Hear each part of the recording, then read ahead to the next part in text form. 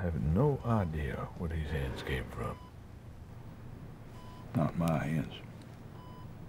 Mine are Paul's. They're not your mother's either.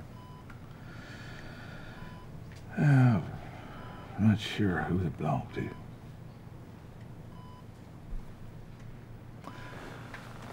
I remember that first year in the White House was the worst year of my life.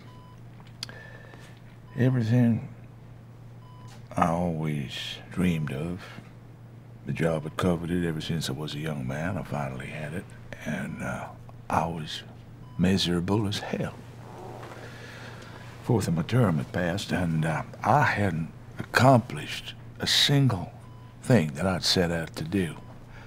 And I used to walk the halls at night, stare up at the faces of my predecessors, and think to myself, every one of them is a better man than me.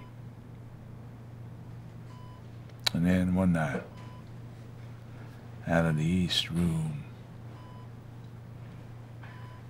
I hear this most glorious sound. I poke my head in, and there you are, eight years old, playing some kind of classical piece so effortlessly. You turned around when you heard me. You let out a crazy laugh, and you went skipping off down the hallway. And after that, I used to hide around the corner from the east room just to listen to you play. It's something so simple, but brought me so much peace. And uh, I don't know